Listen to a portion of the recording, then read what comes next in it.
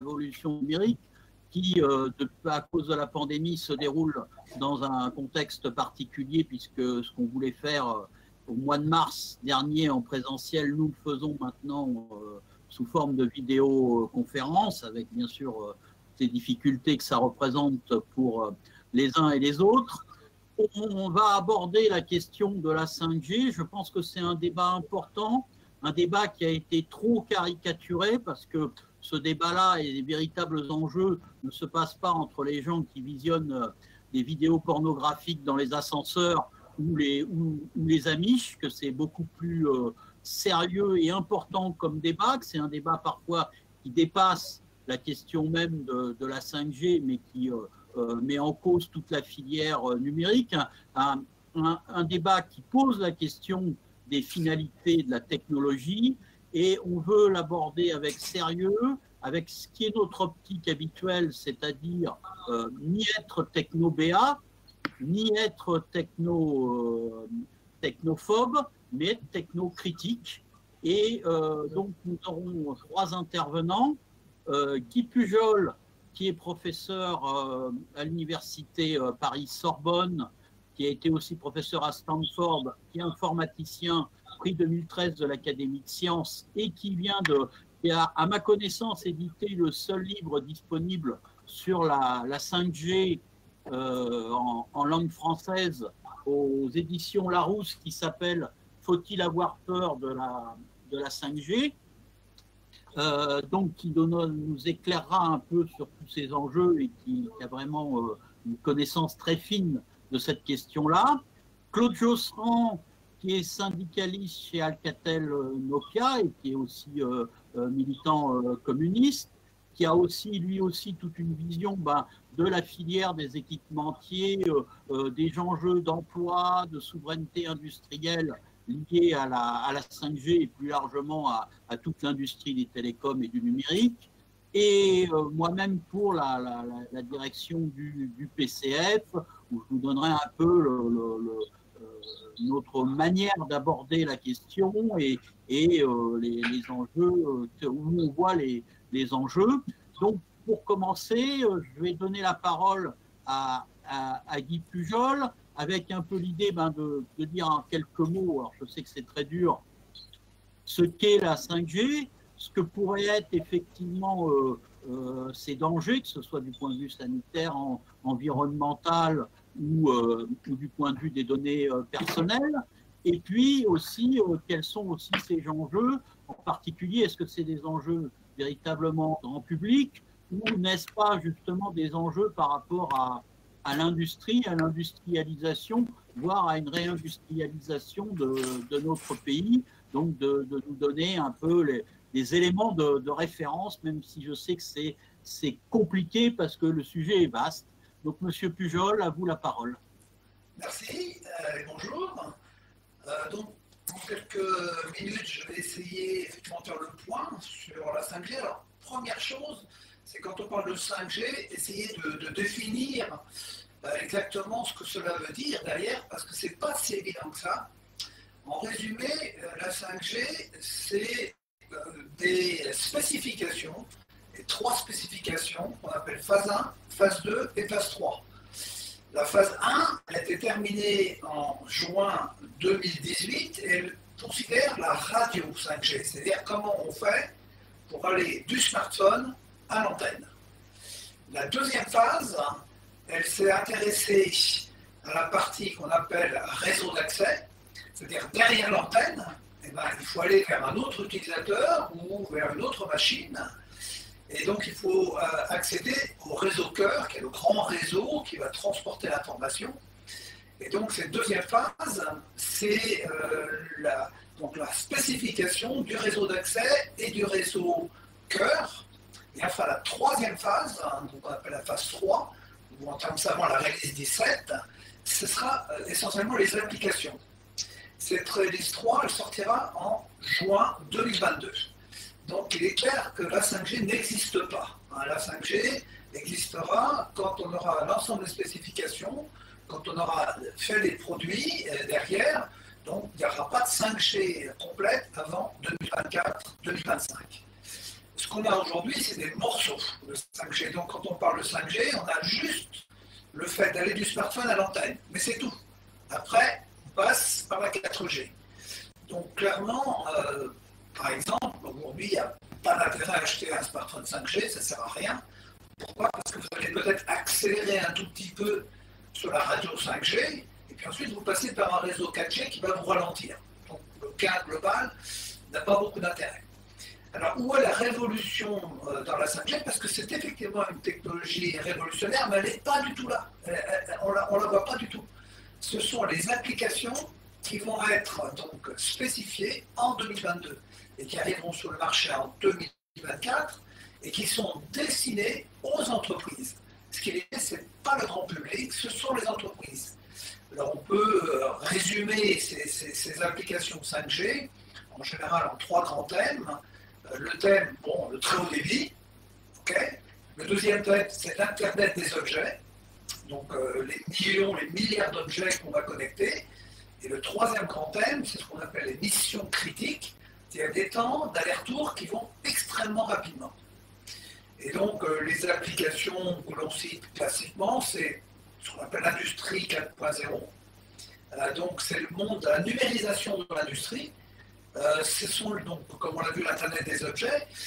Donc, ce n'est pas le grand public hein, qui est visé.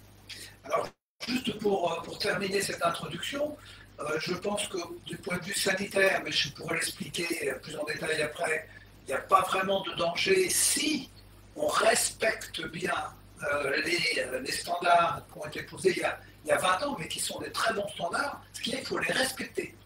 Donc il faut faire des mesures pour être sûr qu'elles sont respectées.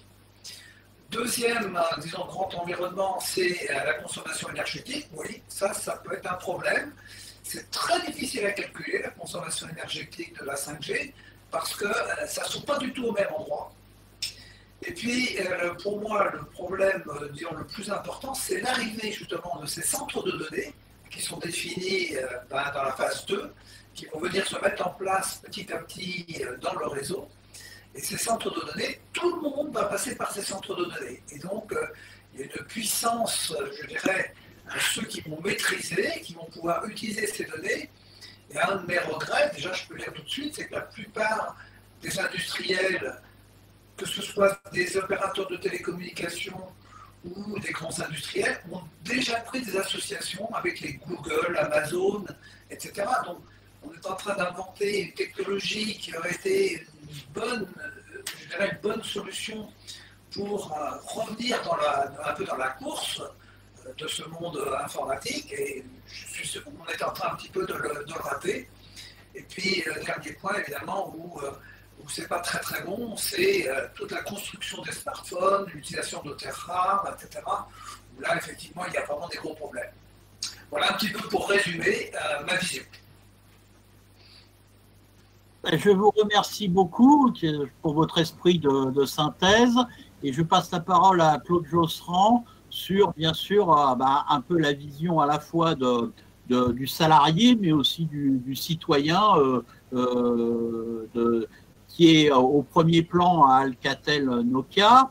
Je rappellerai quand même, et ça, résonne par rapport à ce qu'on disait sur l'enjeu industriel et le, je dirais aussi la période que l'on vit et les difficultés de cette période, que euh, l'un des patrons d'Alcatel, je crois à la fin du, du siècle dernier ou début de ce siècle avait théorisé sur les entreprises sans usine et on voit d'une certaine manière là où nous mène ce type de, vision stratégique ou d'absence de vision stratégique et de vision purement financière euh, de, l'industrie. À toi, Claude.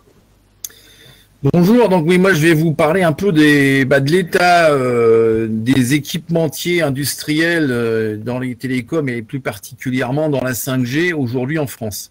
Alors, euh, ils sont souvent peu connus, mais il ne faut pas oublier que pour faire fonctionner en particulier nos smartphones, il y a derrière beaucoup de matériel électronique sophistiqué, en particulier en radio, et beaucoup de logiciels.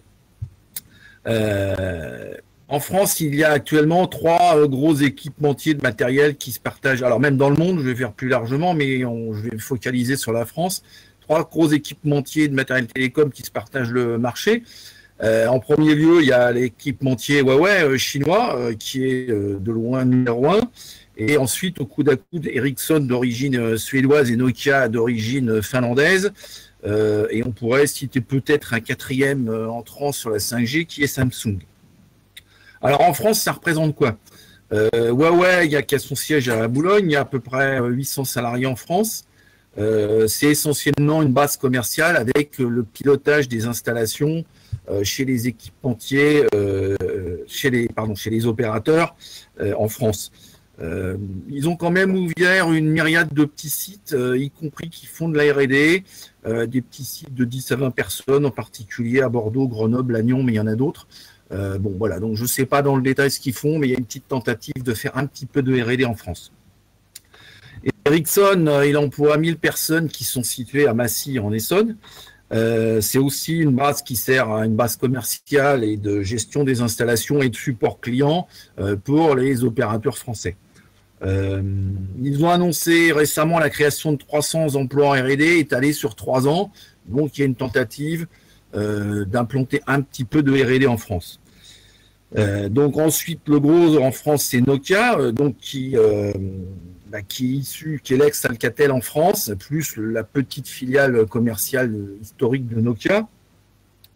Aujourd'hui, c'est encore 3600 salariés dans sa filiale principale à Nozay en Essonne et à Lannion dans les Côtes d'Armor. sur ces 3600 salariés, aujourd'hui, il y en a à peu près 2500 euh, qui travaillent en R&D et essentiellement sur la 5G. Euh, n'oublions pas néanmoins donc que ce, gros employeur, le plus gros équipementier Nokia en France, euh, donc issu d'Alcatel, a quand même acheté Alcatel début 2016, a commencé par supprimer 1200 emplois via trois plans de suppression d'emplois en épargnant dans un premier temps la R&D et en même en développant sa R&D puisqu'en parallèle l'embauche de 700 jeunes. Mais en juin 2020, Nokia a annoncé euh, la suppression de 1286 emplois justement en R&D bah, sur les sites de Nozay et de Lannion. Euh, ce chiffre a été ramené à un petit peu moins de 1000 euh, suite à la lutte des salariés et des élus, en particulier en Bretagne. Mais voilà, donc euh, de 2500, on passerait à euh, moins de 1500 salariés euh, en R&D en France. je parle surtout de la R&D parce que quand on parle de maîtrise industrielle, c'est évidemment essentiellement à travers les, R&D que ça se passe, sachant que tout ce qui est purement fabrication, il n'y a strictement plus rien en France depuis l'ère Turuk. Euh, aujourd'hui, euh, les salariés de Nokia, malgré ce plan, sont euh, extrêmement pressurés pour sortir la 5G le plus vite possible. il y a déjà eu quelques, une première version déployée en Corée du Sud, mais pour l'instant, il n'y a pas vraiment de 5G déployé. Donc il y a cette contradiction euh, génération d'un vaste plan de suppression d'emplois, alors qu'il y a euh, énormément de travail pour mettre au point cette 5G et, une pression énorme, y compris pour travailler la nuit, euh, de salariés qu'on va licencier dans quelques mois. Alors, dans ces conditions, avec ces trois, ces trois équipementiers en, en France, comment peut-on parler de maîtrise de technologie des réseaux. Euh, bon, je ne vais pas faire la question de l'utilité ou de l'inutilité de la 5G, qui devrait pourtant faire l'objet d'un large débat démocratique, euh, mais puisque Macron l'impose euh, en force, on peut se poser quand même la question, justement, cette 5G, quelle maîtrise on va en avoir à partir de la France et plus largement de l'Europe? Ce qu'on constate, c'est parmi les opérateurs, bon, bah, Huawei, il est chinois, donc euh, c'est quasiment tout euh, de l'importation. Euh, tout est fait en Chine avec une force de frappe en R&D extrêmement importante. Ericsson, lui, conserve quand même une part de R&D assez importante en Europe, même s'il a aussi délocalisé une partie dans les pays low cost. mais Nokia est sur une politique de forte délocalisation vers les pays low cost. tous les plans de suppression d'emplois, que ce soit les précédents ou celui qui, qui est en cours de déroulement actuellement et qui touche la R&D, euh, c'est essentiellement euh, de la délocalisation sur l'Inde, la Pologne et d'autres pays. Fait un petit peu nouveau quand même, cette fois-ci, il y a une partie des postes qui sont, on va dire, les délocalisés ou relocalisés en Finlande, pays du siège du groupe. je pense que ce n'est pas étranger au fait que le gouvernement finlandais a pris 5% dans le capital euh, de Nokia et en est ainsi devenu le premier actionnaire. Peut-être la France devrait un peu euh, y réfléchir. Ça a été en tout cas une proposition de l'intersyndicale euh, par le passé et qui demeure aujourd'hui, mais ce n'est pas du tout dans l'optique de notre gouvernement. donc, oui, quelle maîtrise industrielle à l'heure où on parle de cybersécurité, de maîtrise des réseaux, lorsqu'on détruit violemment les capacités euh, de R&D en France, euh, évidemment, ça pose évidemment gros problème. Nokia et le gouvernement ont annoncé malgré tout la création d'un pôle de cybersécurité par Nokia à Lannion avec 112 euh, salariés, un petit peu pour amortir les effets du plan de suppression d'emploi annoncé, mais une nouvelle fois avec des aides publiques à hauteur de 28 millions d'euros encore, euh, ce qui fait exactement 250 euh, 000 euros par salarié. Euh, on peut se poser la question de l'utilité, du bon usage de l'argent public dans ces conditions. Nous, en tout cas, à la CGT, ce qu'on pense, c'est qu'il faudrait avoir une maîtrise industrielle de l'ensemble de la filière, à savoir, en gros, de la silice pour fabriquer les composants électroniques et la fibre optique, euh, en passant par les composants, la production des cartes électroniques qui sont nécessaires à ces équipements, et puis la maîtrise de tout le logiciel euh, qui est implanté euh, sur ces cartes, puisque dans nos équipements actuels, c'est en termes de travail, c'est on va dire 80% de logiciel et 20% d'électronique. voilà. Moi, je voudrais refaire du coup un petit retour en arrière à l'époque où Alcatel et Thomson, dans les années 70, début 80, euh, ont permis, euh, sont devenus le leader euh, dans les télécommunications. On était un pays très très avancé dans ce domaine. Il y avait eu le succès en particulier du Minitel. mais pourquoi? Bah, C'est bien parce qu'il y avait une collaboration entre les PTT, qui était une, administration à l'époque, et puis son secteur très novateur d'études qui s'appelait le CNET. Euh, avec la privatisation de France Télécom, euh, une des conséquences, ça a été la disparition progressive du, CNET, qui s'appelle maintenant euh, Orange Labs, mais qui a perdu énormément de ses capacités techniques et qui n'est de moins en moins leader sur les innovations.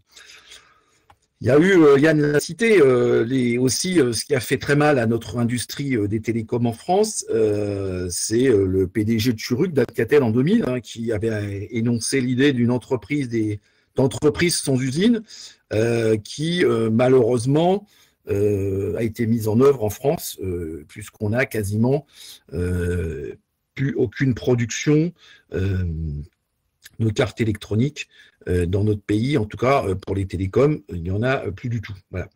Euh, donc je pense que globalement, on peut dire que l'absence de politique publique pour l'industrie, qui a été remplacée par des incitations financières à travers le crédit impôt recherche, qui a été largement augmenté à partir de 2007 dans le premier gouvernement Sarkozy, mais on peut se poser pour quel bilan? Si je prends l'exemple euh, du euh, d'Alcatel Lucent de Nokia. Euh, le groupe perçoit à peu près 70 millions de crédits impôt recherche tous les ans, et pour autant, les emplois ont été divisés par trois, y compris en R&D, et ce n'a pas permis de développer d'autres emplois en aval, puisque théoriquement, euh, quand le gouvernement euh, aide des entreprises euh, privées, c'est pour développer une filière, donc ce n'est pas uniquement pour financer directement les emplois, mais de permettre que en aval et en amont, d'autres emplois se développent, ce qui n'est absolument pas le cas.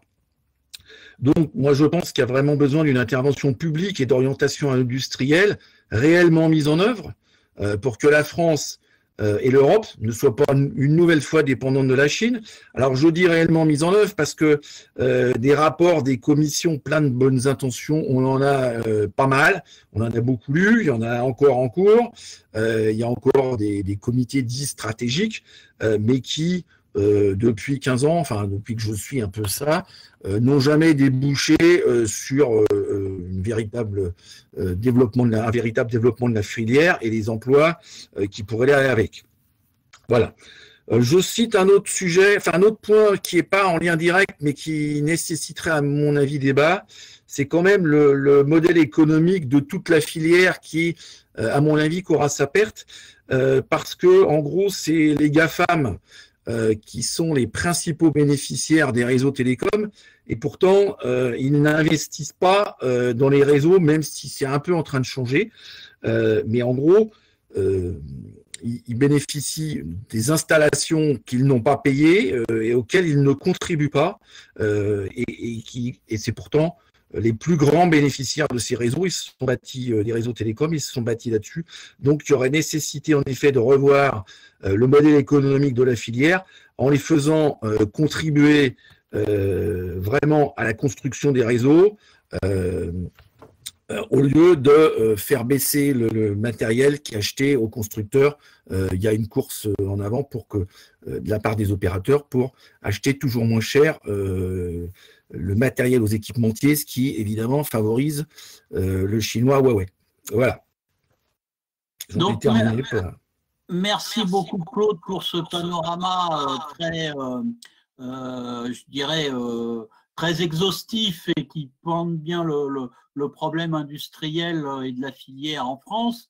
un peu la vision qu'on pourrait donner, c'est que le, rôle que devraient être des, politiques ce serait justement de ne pas acheter des, politiques publiques euh, sur l'étagère avec euh, euh, les éléments de langage qui vont avec, mais de définir des politiques publiques répondant aux besoins humains et de créer les conditions industrielles, sociales, écologiques de leur réalisation par les entreprises. Et on a un peu l'impression qu'on fonctionne à l'envers.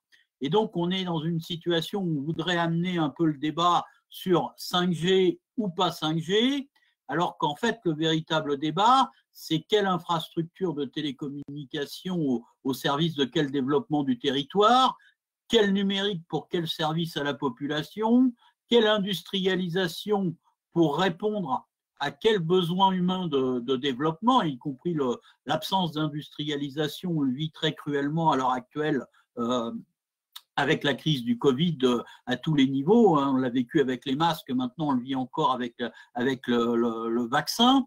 Donc ces, questions-là euh, sont véritablement déterminantes si on ne veut pas être effectivement, comme tu le disais, soit être une colonie numérique des États-Unis, soit devenir un, terminal de la route de la soie chinoise. Et de ce point de vue-là, euh, en fait, les vrais problèmes, c'est de savoir déjà, il y a un premier problème, c'est cette histoire d'enchère où on a quand même un bien public qui est, euh, que sont les fréquences 5G qui sont un peu bradées d'une certaine manière euh, au, privé, et donc une perte de maîtrise du public. Il y a aussi effectivement, et tu l'as souligné, le fait que nous n'ayons plus d'opérateurs de télécommunications euh, euh, nationalisés dont les missions seraient d'assurer l'égalité territoriale pour l'accès aux services numériques à très haut débit. Et là, je dirais, le problème, c'est, mais c'est déjà le problème avec la 4G, c'est de savoir si la fracture numérique va continuer à augmenter ou si au contraire on va recoudre cette, euh, cette fracture euh, numérique. Euh, le vrai problème, c'est les conditions de déploiement. donc, c'est cette question de la, fracture numérique, comme je, le disais. c'est aussi, bien sûr, et ça tu l'as souligné, de reconstruire une filière industrielle intégrée qui aille autour du numérique et des télécoms. Et ça passe, bien sûr, par des acteurs industriels comme euh, euh, les équipementiers, mais aussi les opérateurs télécoms, euh, tout ce qui produit des applications. Et ça ne peut pas passer ça par, la start-up nation. les startups, c'est l'écume de. D'abord, c'est très coûteux, c'est un système qui est très coûteux et, que seuls les États-Unis véritablement peuvent se payer. Et, ce n'est pas ça qui peut fonder le développement d'une politique industrielle qui doit au contraire prendre toute la, filière. La, deuxième chose, c'est aussi d'avoir en fait pas une vision du principe de précaution euh, comme quelque chose qui soit un, principe d'interdiction a priori, mais au contraire qui aide à mettre en œuvre des normes sanitaires et écologiques qui fassent la différence avec d'autres modèles. Et puis, euh, euh, c'est aussi se donner, et pour ça, il faut se donner véritablement, et M. Pujol le, souligner, c'est se donner d'une certaine manière les moyens publics d'expertise et de surveillance, que ce soit en matière de consommation d'énergie, en matière d'impact sanitaire, parce qu'on se rend compte que souvent les études, en fait, que fait le, les, les, différentes agences de l'État sont en fait euh, des méta-études, mais pas des études faites par des laboratoires véritablement euh, euh, dépendantes de, de, la puissance publique. Et puis, bien sûr, c'est la question de l'appropriation sociale de la 5G, parce que en soi, la 5G n'est pas nécessairement une révolution technologique, elle le sera dans un, dans un contexte plus général, puis je pense qu'on ne décrète pas à l'avance que quelque chose sera une révolution technologique ou pas, et c'est de savoir comment elle est au service des besoins humains et ça, ça peut se passer qu'avec l'intervention des salariés, comme l'a souligné Claude, mais aussi des citoyens et de promouvoir aussi de nouveaux pouvoirs euh, euh, d'intervention démocratique. Alors, pour faire euh, rebondir un petit peu le débat, je, vais me retourner vers Guy Pujol sur une question qui est posée et qui est peut-être en lien avec la question industrielle, parce que cette question de réindustrialisation du pays, pourquoi la 5G serait-elle euh, nécessaire quand on, pourrait développer la plus développer, plus généraliser la fibre optique? Et pourquoi y a-t-il besoin en plus de, la 5G C'est une euh, peut-être une première question que vous pourriez euh, traiter. puis après, je me retournerai vers Claude. D'accord. Donc, effectivement, la, 5G, ça permet euh, la mobilité. Euh, donc le, client, euh, le client va se connecter donc, sur, une antenne, hein. mais la 5G va beaucoup développer des petites antennes hein, qu'on appelle des femtocelles, hein, ou en français petites cellules. Et la fibre optique est absolument nécessaire pour connecter toutes ces petites cellules vers justement le réseau cœur pour transporter les données c'est pas inconciliable. Hein, la fibre optique et la 5G, pour moi, elles sont complémentaires.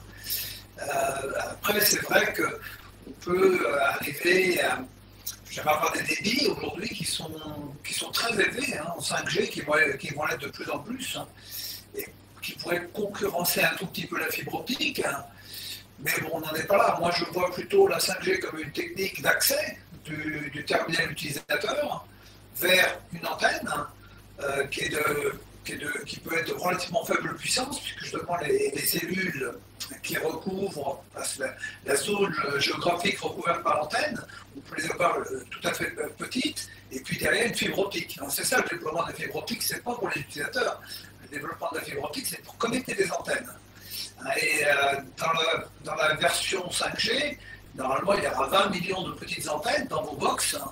Et euh, le client se connecte donc soit par le Wi-Fi, soit par la 5G sur ses box, et ensuite euh, prenne la fibre optique pour aller euh, vers le destinataire. Donc pour moi, ce n'est pas du tout un combat entre les deux, c'est une complémentarité. Juste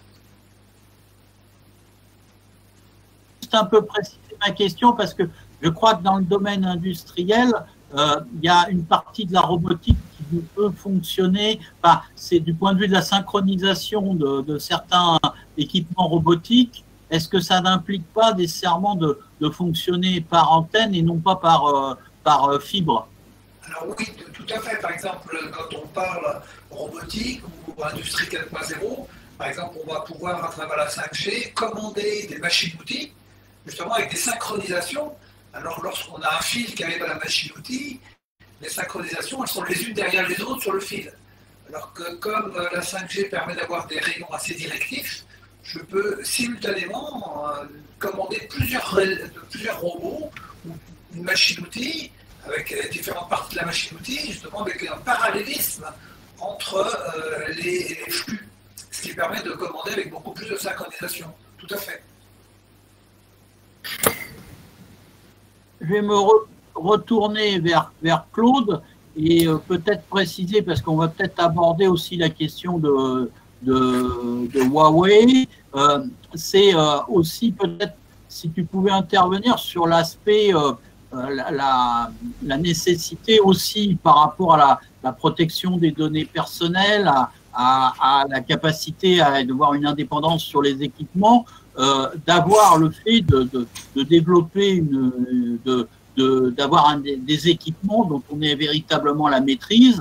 Et ça, ça demande à la fois, euh, euh, bien sûr, d'être fabriqué euh, sur le territoire national ou européen, et, et, et, de, et aussi qui est, qui est aussi peut-être des pouvoirs d'intervention des salariés sur toutes ces questions qui sont loin d'être neutres, parce que la technologie, en fait, n'est jamais neutre. Claude, je te donne la parole. Oui, alors dans la question euh, euh, fibre versus 5G, euh, déjà je dirais que la fibre, ça pourrait pour moi répondre à une bonne partie des besoins, en tout cas pour relier, amener des hauts débits dans tous les foyers, mais ça n'intéresse pas tellement les opérateurs parce que la 5G, pour l'amener chez tout le monde, c'est surtout du travail de BTP. Euh, donc des investissements assez lourds et qui peuvent pas refacturer à des prix exorbitants euh, aux consommateurs.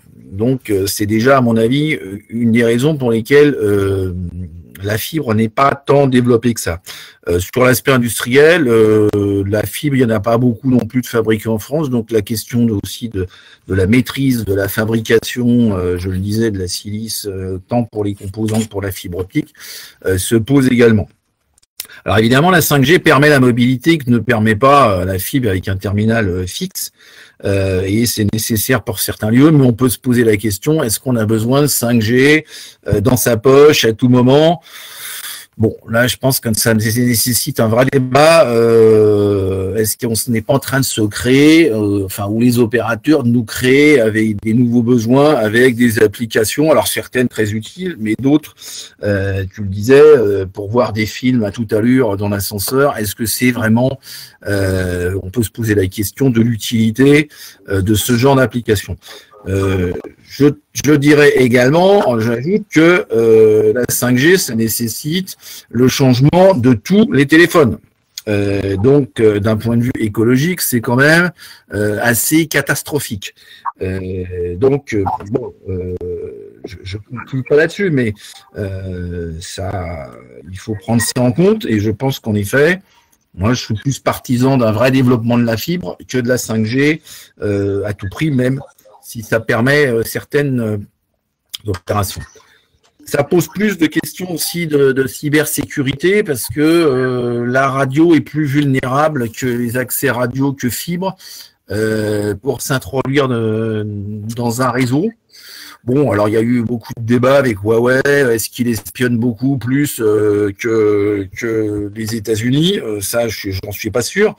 Euh, il peut toujours y avoir des failles, mais en tout cas, si on veut être en mesure de les détecter ou de les surveiller, en effet, bah, et qu'on veut garder un minimum d'indépendance, bah, il faudrait en effet investir largement dans la cybersécurité qui peut se positionner à plusieurs niveaux dans les réseaux.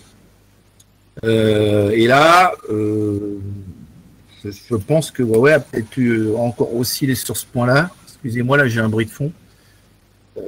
une avance sur nous, en tout cas, les trois, que ce soit Ericsson ou Nokia là-dessus, ne sont pas spécialement avancés pour bien gérer la cybersécurité et les risques sur les réseaux. Donc il y, aurait en effet euh, une filière à, développer là-dessus. Euh, Thales pour les réseaux euh, militaires, évidemment encore plus sensible aux questions de, cybersécurité. et là-dessus plus avancé, et il est regrettable qu'on n'ait pas des collaborations entre Thales et, Nokia, par exemple. bon, ça c'est malheureusement, et ça pourrait peut-être être envisagé. Je, pourrais rebondir là-dessus, sur cet environnement, avec, avec en particulier Huawei. En fait, on a empêché Huawei, enfin les Américains essentiellement empêché Huawei d'entrer. Ce n'est pas du tout pour les antennes, hein, comme c'est dit, c'est des data centers. L'antenne dans la 5G ne fait plus rien. L'antenne, elle a quand même son rôle, c'est de récupérer un signal et d'envoyer ce signal sur un centre de données. Tous les boîtiers électroniques qui existaient dans la 4G ont été supprimés, c'est-à-dire que le traitement du signal, euh, tout ce qui est géolocalisation, ça, ça n'existe plus dans la 5G en, sous forme électronique. Le signal arrive à l'antenne et automatiquement l'antenne renvoie ce signal sur une fibre optique vers un centre de données. Et lorsqu'on veut mettre de la 5G, il faut des centres de données. C'est ce qui va se développer dans les 3-4 ans qui viennent. Et donc, pourquoi on a empêché Huawei? Parce que le centre de données, c'est le cœur. Et donc aujourd'hui, euh, l'espionnage, c'est 80% américain, parce que c'est les composants américains euh, qu'on trouve dans les réseaux. Et si, Huawei rentre euh, en tant que, je dirais, euh, fournisseur des centres de données, ben oui, effectivement, là, dans quelques années, ce sera 80% chinois qui sera l'espionnage. Donc là, c'est une bataille entre les Américains et les Chinois pour garder l'espionnage mondial. Alors, moi, je suis tout à fait, effectivement, euh, d'accord sur le fait qu'il faut développer des environnements de, cybersécurité. C'est très urgent parce qu'il faut défendre tout ça. Mais de nouveau, ce que je regrette, c'est que le cœur de la 5G, la révolution, ce n'est pas les antennes, ce n'est pas la radio. La radio, c'est juste une amélioration de la 4G. La, vraie nouveauté de la 5G, ce sont les centres de données. Et c'est ceux qui seront là, qui seront les maîtres du monde. Et ce que je regrette, par exemple, c'est que Nokia a annoncé il y a 10 jours que les centres de données de Nokia, ce seront des centres Google. Et ça, c'est très dommageable, parce que ça veut dire que l'espionnage, ça sera Google. C'est eux qui, vont avoir euh, l'ensemble de nos données, qui vont les exploiter, etc. Et ça, c'est dommage que, bah, entre le gouvernement français et, euh, et Nokia, mais c'est pareil, c'est pas que Nokia, hein. Orange a également euh, passé des accords avec aussi Google. D'autres opérateurs dans le monde qui ne sont pas américains ont passé des accords avec Amazon et compagnie. Et ça, c'est vraiment dommage parce qu'on est en train de donner le cœur de la partie la plus importante de la 5G, ben, toujours même. Hein. Et on est déjà euh, sous contrainte du GAFAM. Et le GAFAM va encore être plus puissant euh, dans cette nouvelle génération alors qu'on aurait pu, par une politique industrielle, justement des, centres de données européens, euh, comme justement Gaia X qu'on essaie de lancer. Malheureusement, Gaia X, ben, on retrouve Google, on retrouve Amazon, on retrouve tous les grands américains, c'est vraiment dommage. Moi je pense que je regrette qu'effectivement on n'ait pas saisi cette occasion de la 5G pour se refaire pour faire un environnement européen, euh, français bien sûr. Voilà un peu ma vision sur ces, sur ces, sur ces sujets. Ah, pour rebondir sur ce que dit euh, M. Guy Pujol, euh, je crois qu'effectivement, ces, ces enjeux-là sont, sont véritables sur les données, sont vraiment déterminants. On l'a vu déjà sur la question des données de santé, d'ailleurs, qui recoupe un peu ça, la question des données de santé qui avait été donnée à, Microsoft par le, le, gouvernement. Alors, gouvernement sous des appels sur le Conseil d'État, etc., a dû revenir en partie euh, et appels devant le Conseil d'État qui ont été faits par des syndicats, des associations, des élus, des citoyens, a dû revenir en partie là-dessus. Mais il y a aussi un autre aspect qui est, il y a l'espionnage, mais il y a aussi le fait, c'est qu'à partir du moment où on travaille avec des, des entreprises américaines, on, est sur le coup de l'extraterritorialité de la loi américaine et euh, d'un certain nombre de, décrets américains, dont le Cloud Act, qui permet justement à l'État américain ou à ses agences de pouvoir récupérer les données euh, parce que euh, il y a l'extraterritorialité de la loi américaine, d'autant plus que là maintenant, il n'y a plus d'accord entre l'Union européenne et les États-Unis sur les données. Donc ça se négocie quasiment au cas par cas. pour l'instant. Et donc, il y a un vrai risque par rapport à un enjeu énorme de, souveraineté autour de cette question des données. Mais je voudrais aussi reprendre une question là que j'ai vue dans le, le, alors autre chose, et Hervé Raduro dans le chat a tout à fait raison d'en parler, c'est qu'effectivement, mais vous l'avez dit d'une certaine manière euh, tous les deux, c'est que la vraie question, c'est que tout le monde débat sur des applications euh, qui sont presque superficielles, voire même euh, par rapport à l'environnement relativement néfaste, qui sont les applications grand public autour du streaming, qui n'ajoutent rien à la, 4, à la 4G autour du streaming, du e-sport, des jeux vidéo, alors que le véritable enjeu autour de la 5G, c'est autour de, l'affaiblissement du temps de latence euh, entre l'arrivée signal, l'émission du signal et l'arrivée du signal, ce qui a bien sûr une énorme importance pour tout ce qui est industrie, euh, véhicules, euh, véhicules autonomes et ou d'autres applications style téléchirurgie, etc. Donc c'est des applications, je dirais, professionnelles et industrielles qui sont au cœur de l'enjeu de la 5G et pas des applications euh, euh, grand public. Euh, alors, sur le, chat, il y a une question qui est intéressante, je vous la livre. Pensez-vous que la 5G soit plutôt de nature à renforcer la, centralisation d'Internet ou sa décentralisation? Et c'est vrai que là, avec les GAFAM, on a, et ça rejoint un peu ce que vous disiez, c'est qu'on est dans une situation où l'Internet, c'était euh, de l'information distribuée, et de plus en plus, maintenant, on est sur, de, sur des, des, data serveurs, des data centers, sur une hypercentralisation euh, des données, une confiscation entre 5 à 6 grands acteurs mondiaux. Donc, alors, je finis la liste. Quelle question, euh, cette question a-t-elle été abordée dans l'élaboration du standard? Est-ce qu'un enjeu plausible de revendication ou de politique publique est justement d'intervenir sur cette question? Et si oui, par quel biais? Euh, Donc, peut-être Claude, euh, Guy Pujol? Cette oui, question je, peux, je peux y répondre. C'est tout à fait exact que la 5G est une technologie très fortement centralisée. Ça, c'est très clair.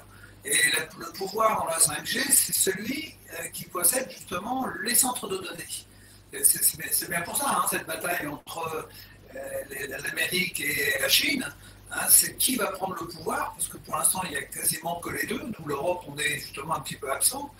Et euh, les Américains, effectivement, on essaye de barrer les Chinois pour reprendre l'avantage sur cette question. Alors aujourd'hui, il faut, être conscient qu'on travaille sur la 6G.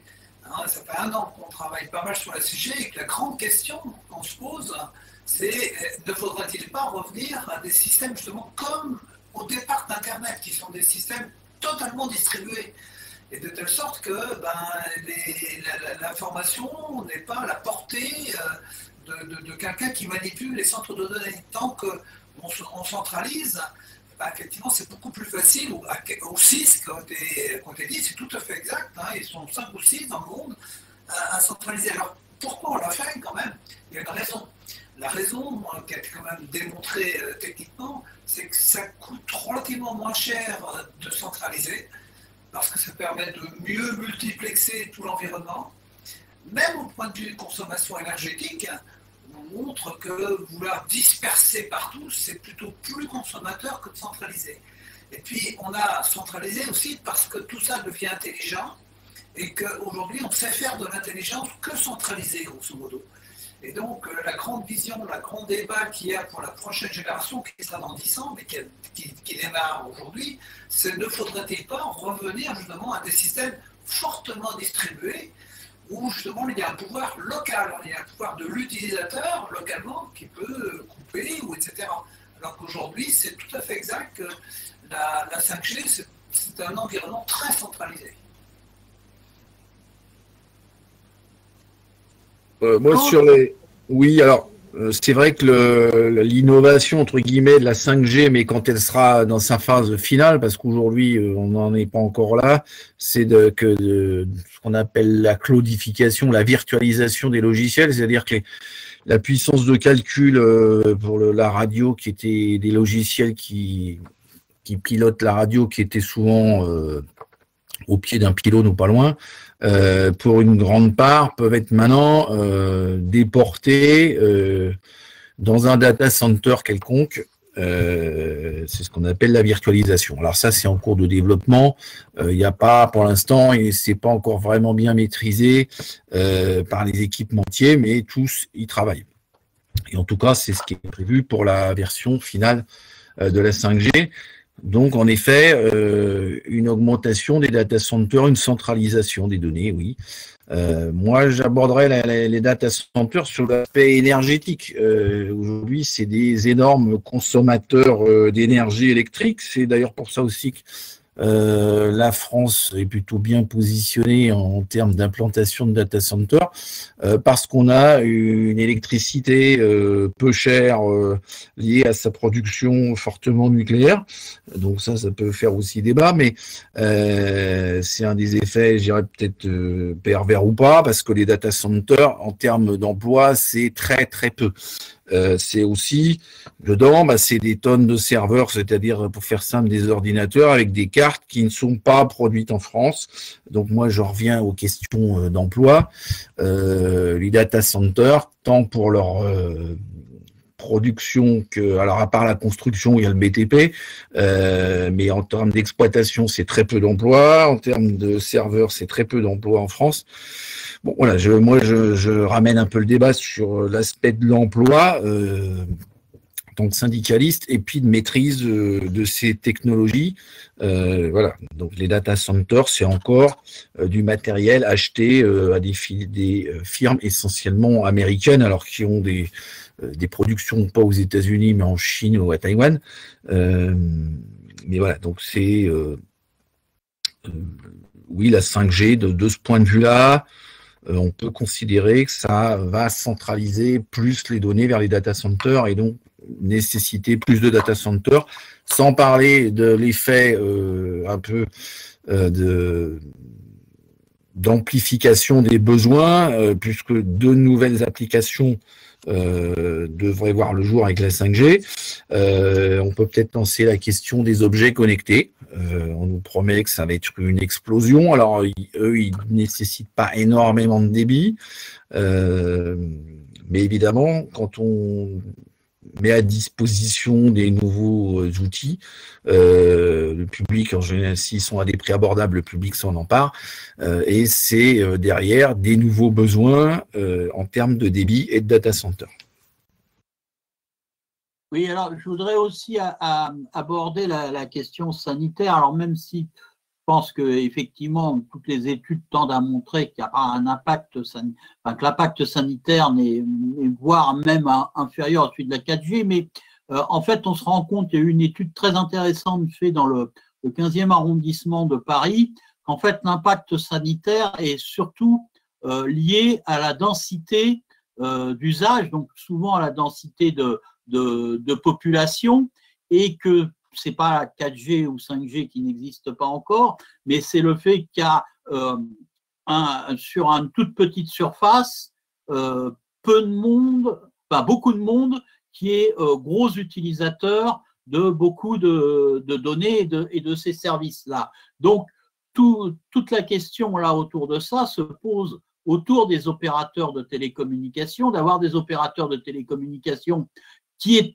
qui avait comme euh, bah, comme c'était euh, depuis la libération une fonction euh, d'aménagement du territoire et pas une fonction nécessairement de concurrence ou de profit, mais qui était un acteur majeur de l'aménagement du territoire, effectivement de, de, retrouver une maîtrise nationale des opérateurs de télécom, parce que, y compris sur la question sanitaire, puis je parlais de la fracture numérique aussi, c'est la question de, l'aménagement euh, du territoire. Et le fait est que les opérateurs, ben, ils, investissent énormément en zone dense et beaucoup moins en zone, euh, en zone peu dense. Et donc, il y a la question de retrouver une maîtrise politique par rapport à ça. Donc, ça peut même, moi, je pense, aller jusqu'à la, la nationalisation totale ou, ou, partielle. Et puis, il y a le rééquilibrage, justement, comme disait M. Pujol, entre euh, bah, les GAFAM et puis euh, les, fournisseurs de services et les opérateurs de, de, télécom qui font quand même l'infrastructure. Et je pense que la 5G pourrait être aussi un moyen, un levier, si elle était utilisée, enfin là, ça demande une volonté politique, un levier de, rééquilibrer les choses entre les opérateurs et les, énormes utilisateurs qui sont un peu des utilisateurs gratuits ou, faiblement payants euh, qui exploitent beaucoup toutes les infrastructures de, télé, de télécom qui sont en fait payées essentiellement euh, euh, par les citoyens. Donc là, il y a, un, véritable, enjeu de, maîtrise, je dirais, bah, de la technologie par rapport à la réponse à l'environnement et les réponses des,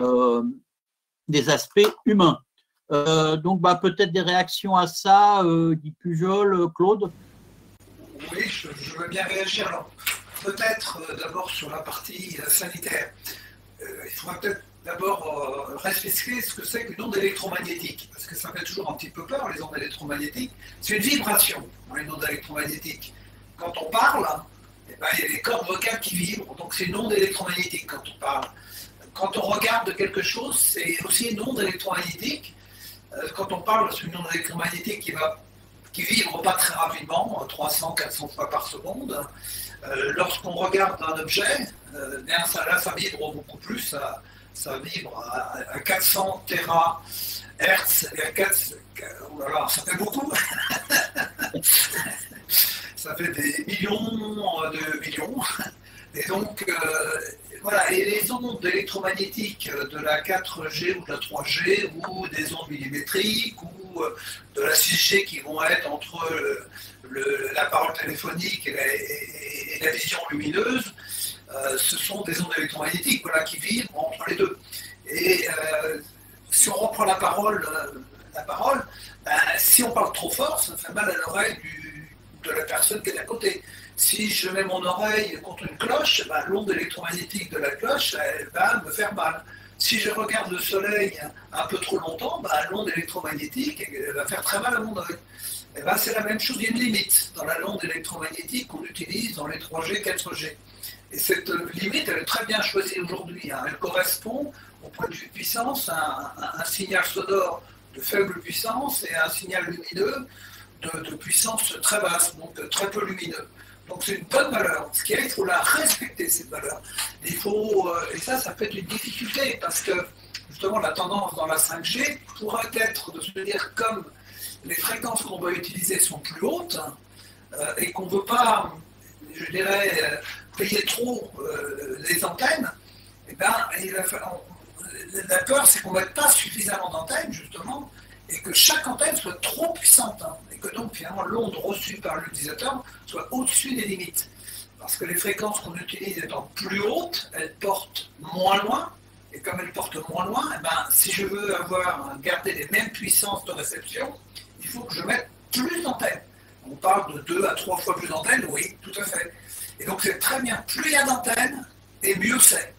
Ah, ça c'est contraire tout à fait à ce qu'on dit en général.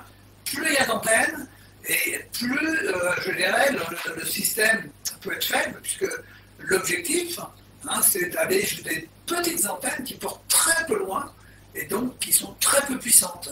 Et il en faudrait beaucoup. Et ça, ça serait beaucoup mieux que d'avoir des grandes antennes. Plus l'antenne est grande, plus c'est dangereux. Et moins il faut s'approcher de l'antenne. Alors aujourd'hui, on sait très bien quelles sont un peu les, limites hein, sur les grandes antennes puissantes. Ben, il ne faut pas être dans les 10, euh, euh, euh, dans les 10 mètres, disons, à partir du, faisceau. si on a une petite antenne comme le Wi-Fi, ben, ce n'est pas un problème parce que là, quelques millimètres suffisent pour avoir une puissance qui a fortement donc globalement, si on respecte bien, pour moi, les, puissances, et les 20, les 000 rapports qui ont déjà été faits là-dessus, et bon, il y a beaucoup de rapports effectivement qui proviennent des États eux-mêmes, mais il y a beaucoup de rapports indépendants euh, qui démontrent que si on ne dépasse pas les limites, il n'y a aucune chance que, enfin, il y a très peu de chances que ça soit, ça soit un problème. Les, ondes qui deviennent dangereuses, ce sont des problèmes ultraviolets au-dessus de, de la vision, alors là, oui, y a des cancers de la peau. Hein. J'ai regardé, euh, dans les 30 dernières années, il y a un million de morts. Hein. donc ça n'a rien à voir, parce que ça, ce sont ce qu'on appelle des fréquences ionisantes. Puis après, au-dessus, on a les rayons X et puis les bombes atomiques. Alors oui, là, effectivement, c'est des ondes dangereuses. Mais les ondes qu'on utilise en, en 4G ou 5G, donc c'est pas plus dangereux de la parole téléphonique ou euh, de regarder quelque chose avec ses yeux. Voilà. mais il faut respecter les puissances, donc il faut faire très attention que les antennes n'émettent pas trop fort. Et même si on peut les baisser un petit peu, tant mieux. Plus on peut baisser, euh, mieux c'est. Euh, l'antenne, disons, la plus dangereuse, c'est l'antenne qui est dans le smartphone. Parce que, pourquoi? Parce que cette antenne est très près de vous, et cette antenne elle est relativement puissante parce qu'elle doit atteindre l'antenne qui est lointaine. Donc elle va pouvoir monter jusqu'à 2 watts, et là, on est à la limite de la zone réglementaire. C'est pour ça que les smartphones qui sont refusés, c'est le fameux DAS, euh, parce qu'ils sont un peu trop puissantes. Donc, c'est effectivement très conseillé de mettre son smartphone à 5 mm de l'oreille. Parce qu'en 5 mm, la puissance elle, est divisée par un ordre de 4. Donc, si collé à l'oreille, vous êtes à la limite de la puissance euh, qui, est, correcte, mais vous êtes déjà à la limite, si vous voulez euh, prendre une précaution, mettez votre smartphone à 5 mm, un demi-centimètre. Alors, c'est encore mieux, évidemment, si vous avez des écouteurs euh, et que vous pouvez l'éloigner de, de 20 cm. Parce que là, ça descend la, puissance par un facteur 20, 30. Hein, donc là, il n'y a plus de problème. Voilà, donc on est, déjà, on est, effectivement sur des limites qui sont tout à fait correctes. Il faut faire attention à, bah, rester, euh, euh, s'éloigner de cette limite quand on peut. Donc, éloigner un tout petit peu votre smartphone, quelques millimètres. Je dis bien 5 mm, on divise la puissance par 4. C'est-à-dire que quand on est près de la limite, et ben voilà, d'un seul coup, 5 mm, ben vous êtes 4 fois moins puissant. Et donc là, c'est, je dirais, encore ce principe de précaution, c'est très avantageux. Voilà sur la partie euh, sanitaire. Alors moi sur l'aspect sanitaire, je ne suis pas spécialiste, mais euh, je, note quand même qu'il n'y a euh, pas tant que ça d'études qui regardent ça de près qu'il existe des personnes électrosensibles, ça c'est indéniable, donc qui qui, euh, qui supportent pas d'être dans les champs électromagnétiques euh, euh, qui sont générés. Euh, la 5G, sinon, elle rayonne pas plus que les précédentes, voire moins si on se fie au rayonnement des antennes qui sont plus directifs vers, vers les mobiles qui sont en usage. mais mais voilà, comme les cellules sont plus petites, on risque d'être amené pour avoir un bon démis à multiplier les antennes. Donc euh, aujourd'hui, pas certain que le rayonnement électromagnétique euh, soit moindre dans un lieu donné avec la 5G. Et puis c'est aussi si, si ça génère plus d'usage, plus de durée euh, et plus de débit, bah ça finalement le gain sur le débit unitaire transporté en rayonnement, il va être, il va se, être perdu par une multiplication euh, du débit total. Euh, donc c'est toujours un peu pareil. les gains qui sont effectués d'un côté, c'est la, même chose en termes de consommation électrique.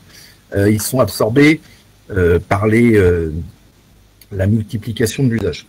donc oui, sur le smartphone, je suis tout à fait d'accord. Le, vrai danger, c'est le smartphone. Et puis, il y a des petits logiciels qui permettent de mesurer chez vous l'ensemble des rayonnements. Euh, et un des rayonnements en général les plus élevés, c'est votre Wi-Fi. Donc pour ceux qui ont des craintes là-dessus, il eh ben, faudrait couper le Wi-Fi. Voilà. Donc, euh, Non, je ne suis pas d'accord Le Wi-Fi, il rayonne, très très peu, le Wi-Fi. Très très peu. Bah, les mesures, c'est pas ce qu'elles donnent. Hein, mais, enfin bon. Moi, j'ai vu. Et puis il y a vraiment beaucoup d'études. Vous dites qu'il n'y a pas eu beaucoup d'études. Si, il y a eu beaucoup d'études. Tous les poids se sont penchés sur, sur, sur ce problème. Bah, on n'a jamais eu vraiment de conclusion, par contre. Ah bah si, ah non, je suis désolé. Euh, tous les rapports euh, ont la conclusion que si on respecte les limites, euh, on n'a jamais vu personne décédé. Il n'y a jamais eu aucun décès en respectant les limites. Dans tous les rapports, dans les 20 000 rapports qui existent. Ce qui, les décès, les quelques décès qu'il y a pu y avoir, c'est des, non-respects de la réglementation. en revanche, vous avez tout à fait raison de dire que l'hypersensibilité est un vrai problème. Parce que c'est la même chose que la sensibilité au bruit ou la sensibilité à la lumière. Ben, il y a de la sensibilité, euh, l'hypersensibilité aux ondes électromagnétiques. Ça, c'est tout à fait exact, et ça, c'est un problème, oui. Alors après, moi, je suis pas spécialiste sur ces questions de rayonnement et sanitaire. Par contre, sur les questions environnementales, euh, ça pose aussi des questions euh, qui, là, ça peut donner lieu, en particulier sur, euh, je le disais, l'impact de consommation énergétique. si les antennes 5G consomment moins, je le disais, ça risque d'être le gain mangé par un usage plus important. Et puis, il y a, y a l'usage des data centers et des nouvelles applications qui, risquent finalement de générer de la, consommation électrique supplémentaire, ce qui aujourd'hui n'est pas forcément bon pour le bilan des gaz à effet de serre. Sur, sur ces questions-là, pardon, excusez-moi, euh, je, crois qu'il y, a la nécessité de travailler, et ça tu l'as souligné, euh, euh, Claude, sur de l'électricité décarbonée, et ça pose bien sûr la question du nucléaire, mais c'est un, autre, débat. Mais quand on regarde les, trois grandes sources de, consommation, enfin d'impact écologique du numérique hein, qui, est, en croissance et pas, pas seulement en raison, enfin, euh, c'est pas la 5G qui est le cœur du, problème écologique de, la, du numérique. Euh, on voit quand même que pour l'instant, il y a effectivement les data centers, mais il y a aussi, ce qui est essentiel, il y a eu un très bon rapport du Sénat là-dessus, que pour l'instant, l'essentiel se concentre autour des smartphones, la production des smartphones qui est consommatrice de beaucoup d'électricité euh, euh, très carbonée. Euh, il y a, et bien sûr, le transport de ces smartphones, bien sûr, euh, dans, nos, dans nos contrées. Il y a le fait, bien sûr, de, tous les, de tout ce qu'il y a dans ces smartphones, les terres rares, etc., qui ont aussi un impact écologique et puis social aussi, parce que c'est les mines de cobalt, etc., et les conditions dans lesquelles euh, toutes ces, ces, euh, ces, ces, terres sont extraites. Donc ça, c'est une, une chose, mais ça pose aussi le problème, alors qui a commencé à s'implanter, mais là aussi, il faudrait qu'il y ait une intervention politique plus forte, c'est tout le problème du reconditionnement des, smartphones. D'abord, pourquoi est-ce qu'on ne produirait pas des smartphones euh, au plus près des consommateurs et qu'on ait euh, aussi ce travail autour du reconditionnement des smartphones? Alors peut-être que pour la 5G, c'est pas totalement possible, mais peut-être entrejeter son smartphone et euh, acheter un smartphone tout, tout neuf pour être euh, connecté à la 5G, on pourrait effectivement développer peut-être, c'est une, une, question, je ne suis pas spécialiste en technologie des smartphones, mais ça vaudrait le coup d'étudier si on peut pas euh, continuer à développer la filière de reconditionnement des smartphones, parce que c'est quand même un peu l'un des cœurs pour l'instant du plus gros de, de, l'impact après les, enfin avant les, les data centers de l'impact éco écologique du numérique et en très forte croissance puisque je crois qu'on est à près de, de 6% maintenant euh, des émissions de gaz à, effet de serre et ça, et ça, croît, ça continue de, croître. Euh, après, sur les data centers, il y a aussi des solutions à, il y a où effectivement la décentralisation des données, mais il y a aussi des solutions à étudier, euh, compris liées au chauffage urbain, etc. Mais là aussi, ça, ça se, ça se discute et ça se travaille, même y compris par rapport à l'implantation de ces centres de, données. Mais je vous ai coupé la parole, Monsieur Pujol. Non, non, mais, mais, là, vous avez tout à fait raison. Moi, je, me suis dit tout à fait. Hein. Euh, c'est vrai qu'on on construit aujourd'hui tous les jours, tous les jours, même euh, en comptant euh, non seulement les jours 3, 4 millions de smartphones par jour, et on en jette 1 million tous les jours. Et ça, c'est vrai que c'est vraiment des gros problèmes. Ça, vous avez tout à fait raison de le souligner. C'est qu'il faut des terres rares, il faut des gens pour les construire. Et malheureusement, on va chercher parfois des enfants. Euh, ça, c'est catastrophique là-dessus. Et c'est dommage que les grands équipementiers, euh, qui ont plein d'argent en plus, et qui font des fortunes, ne fassent pas un petit peu d'effort pour, euh, pour combler ce, cette problématique. Et je suis bien d'accord sur les 1 million qu'on jette tous les jours, et pourtant on en garde beaucoup, hein, parce que sur les 4 millions achetés, euh, finalement, il y en a 75% qui sont gardés, euh, qui vont un jour être jetés. Donc, on va finir par jeter 2, 3, 4 millions, 5 millions de smartphones par jour pendant 365 jours. C'est des gros problèmes. C'est vraiment des, problèmes euh, qu'on ne prend pas assez bras le corps. Je suis tout à fait d'accord. Euh, là, je pense qu'on va se, se, aller vers la, la conclusion de notre, de notre débat. Euh, ce que je vous propose peut-être, c'est que chacun, bah, vous, preniez quelques minutes pour conclure un peu votre vision. Euh, euh, hormis, bon, bien sûr, il y a des gens qui mettent en avant la question du moratoire. moi, je trouve que cette question-là est trop défensive, très, très défensive, alors qu'au contraire, moi, je pense que c'est justement qu'il faut reprendre que la, maîtrise des, aux, grands groupes, la maîtrise des politiques publiques, et qu'on ne peut pas se contenter de tout bloquer. Ça ressemble un peu à, la Chine du 15e siècle où ils avaient tout bloqué, ils avaient même brûlé leur, leur flotte de haute mer parce qu'ils se rendaient compte des, bouleversements sociaux qu'engendraient euh, les mutations technologiques de l'époque, la boussole, la poudre noire, l'imprimerie à caractère mobile, ils avaient un peu tout bloqué pour maintenir l'harmonie euh, sociale de, la Chine impériale. Bon, franchement, ça peut pas être la, solution. C'est propre au capitalisme de toujours révolutionner euh, les moyens de, production. Mais justement, la question, c'est pour, moi, en, tant que tel, la question, c'est moins la 5G que la question, en, fait, euh, bah, du capitalisme et, du changement de mode de production. Et que la 5G, euh, en elle-même, c'est comment on, on conçoit l'usage et, dans, un cadre politique général de cette, possibilité technologique, en ne s'arrêtant pas à elle, d'ailleurs, parce que la, 5G en elle-même, elle demande tout un environnement, sinon euh, ça n'a pas de raison d'être, et que ça, ça renvoie à reprendre une maîtrise justement euh, bah de, cette, de cette production, de comment on produit, pourquoi on produit, et à quelle fin et dans, et dans, et dans quelles conditions.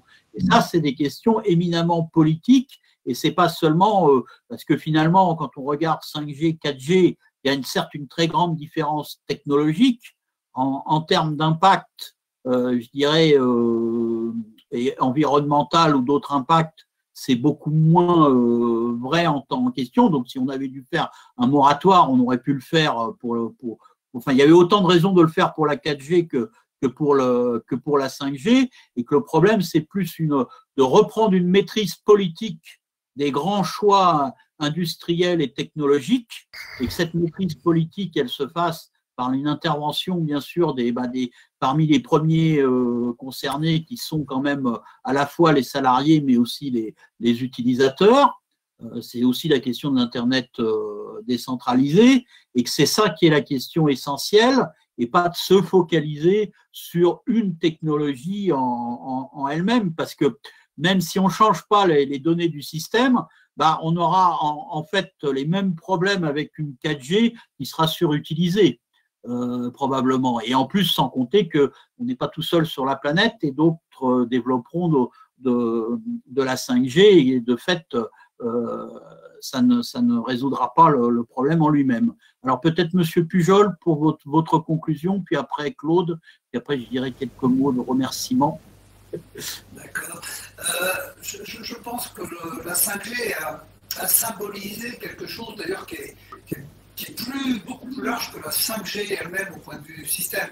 Je pense que la 5G a symbolisé, euh, je dirais, des progrès technologiques qui vont trop vite et qui ne vont pas forcément dans un sens cohérent, comme, euh, c'était souligné à plusieurs reprises.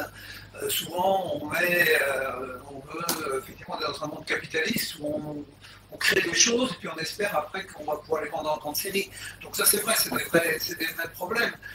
Et, en tant que chercheur, je peux dire que c'est vrai qu'on fait des progrès qui vont de plus en plus vite. Euh, et on peut effectivement se poser la question, euh, effectivement, de, de, à quoi ça sert tous ces progrès. Maintenant, il faut, je pense qu'il ne faut pas non plus barrer le progrès. Euh, donc, il faut, il, faut, il faut faire bien, je dirais. Alors, pour en revenir plus clairement à la 5G, je, je pense que c'est vraiment une révolution potentielle. Il ne faut pas la rater, cette révolution, parce qu'elle est là, on a le pouvoir de la faire. Par exemple, si on arrive à automatiser correctement la production industrielle, eh ben, ça peut enlever beaucoup de tâches pénibles. Alors après, il ne faudrait pas que ça forme des chômeurs. Donc voilà, il y a, toute une politique qui n'est euh, quand même pas, si simple que ça. Mais derrière, il y a un potentiel. Il faudrait qu'on arrive à pas euh, que ce potentiel soit devienne négatif alors qu'il peut être très positif. Donc il y, a, des efforts à faire avant que la vraie, euh, la vraie 5G puisse s'implanter. Donc moi, ma vision, c'est que la 5G, c'est effectivement euh, une révolution potentielle, mais il faut, euh, il faut y faire attention. Il faudrait absolument que la problématique des données soit, soit prise en charge et que ce ne soit pas encore le GAFAM qui récupère non seulement nos données personnelles, mais toutes les données industrielles, puisque je le répète, la 5G, c'est quand même fait pour la partie entreprise. Donc c'était encore un secteur sur lequel on aurait pu jouer, euh, les données d'entreprise. On a perdu déjà la partie sur dirais, les données des utilisateurs. Euh, donc là, on est en train de perdre également euh, cet, environnement de, contrôle des données. et je pense qu'il pourrait aller dans la distribution pour que chacun localement puisse décider ce qu'il fait de ces données et que, les données restent locales. Elles ne doivent jamais aller dans des, dans des gros centres de, de données centralisés. Voilà, donc je pense qu'il y a un potentiel sur la 5G, il y a un très beau potentiel, il y a un potentiel assez révolutionnaire dans, dans les entreprises. Hein, c'est la numérisation des entreprises, mais il faut faire ça bien. Et, et c'est pas simple. Voilà un petit peu ma, conclusion. Et eh bien justement, Claude, ben, dans ta conclusion, comment faire les choses bien bah, c'est vrai, bon, est-ce que la 5G c'est un progrès? Euh, Il peut y avoir des progrès, mais comme toute technique, euh, ça dépend surtout de l'usage qu'on va en faire. Si on regarde, ça peut avoir des gains dans l'industrie pour éviter par exemple des déplacements, et puis il y a des applications euh, plutôt futiles qui, à mon avis, n'ont pas grand intérêt. voilà.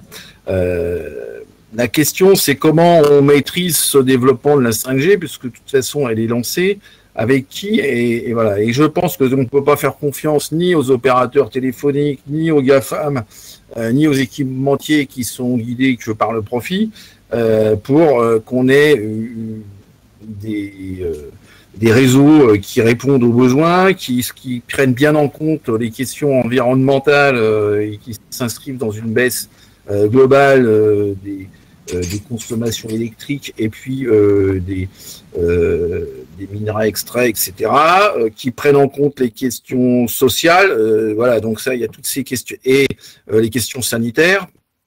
il y a toutes ces questions-là. On peut en tout cas pas le laisser aux trois grands, grands, comment dire, intervenants que je viens de citer. je pense qu'il y a vraiment besoin de reprendre une maîtrise plus publique des choses. Euh, aussi dans les entreprises avec euh, les salariés qui travaillent sur ces domaines. Je pense en particulier euh, chez Nokia où un, vrai débat sur la 5G, ça serait euh, plus qu'utile parce que euh, on nous implique dans des choses qui euh, sont pas forcément vécues comme du progrès, enfin en tout cas pas pour la production. Et puis ça veut dire reprendre toute la maîtrise de la chaîne en allant des, je le disais, de la silice jusqu'au bout, c'est-à-dire en particulier la filière composants électroniques qui est en Europe assez sinistrée. Il n'y a plus beaucoup de, constructeurs de composants électroniques, très peu.